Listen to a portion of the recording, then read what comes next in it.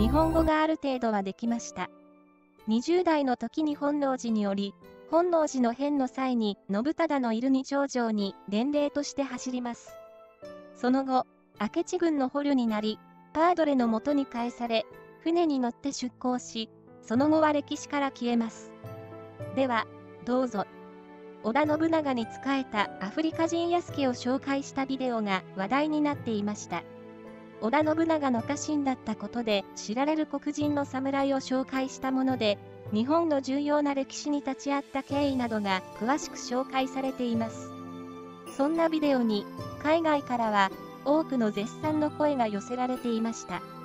アフロ侍の作者、岡崎農氏は、ヒップホップやソウルミュージックに影響を受けたと言ってる。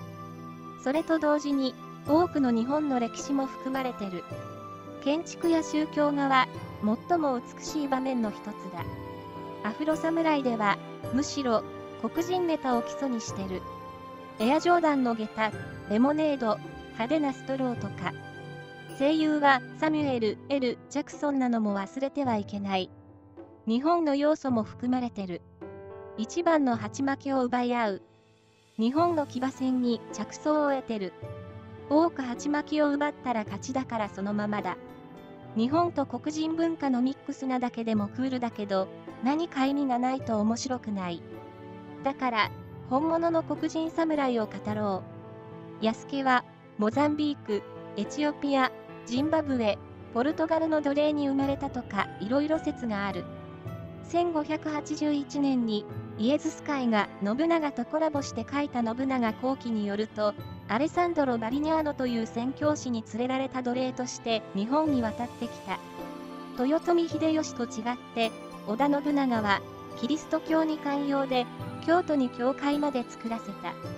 安家の噂が広まると全国から一目見ようと大勢が集まってきた。記録ではかなりのイケメンだったらしい。松平家中は、身長6尺に寸約190センチメートルだと言ってる。織田信長は、10人分の力があると言ってる。安家を一目見ようと集まった人が将棋倒しになって怪我人が出るほどの人気だったようだ。そして、最終的に織田信長の目に留まる。安家は基本的な日本語が話せたので、織田信長とも意思疎通ができた。色が塗られてないことを証明するために服を脱がせで表せたりもした。織田信長は、安家の名を与えると、家と富と日本刀を与えた。鬼の王を自称した極悪非道の織田信長は少なくともレイシストではなかったらしい。織田信長は、自ら、安家を奴隷から解放すると、自分の刀持ちにした。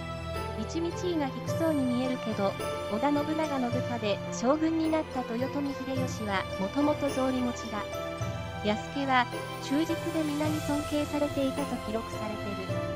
徳川家康は英国人政府のウィリアム・アダムスを、信長は安家を身近に置いた。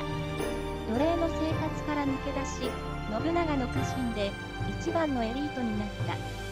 戦にも常に同行してる。天目山の戦いが有名。信長と家康が武田を潰した戦いだ。家康が安家を初めて見た場所で身長の高さに言及してる。1582年、明智光秀に信長が討たれる本能寺の変で幕を閉じる。安家は信長を守ろうとしたけど、信長は切腹して、安家は捕らえられてしまった。光秀は安家を日本人ではないからという理由でポルトガル人に引き渡し、奴隷へと戻った。一人のアフリカ人が奴隷の生活から抜け出し、日本の最も重要な歴史に関わったのはすごいことだ。嘘かまことか、彼が最初の黒人侍ではない。平安時代の武士で、桓武天皇の護衛だった坂の上の田村丸はアフリカ系だったという説がある。不思議発見という番組で取り上げたようです。故郷の島へ帰り、日本の話で人気者であったとか、今も関連のお祭りが残っているという話でした。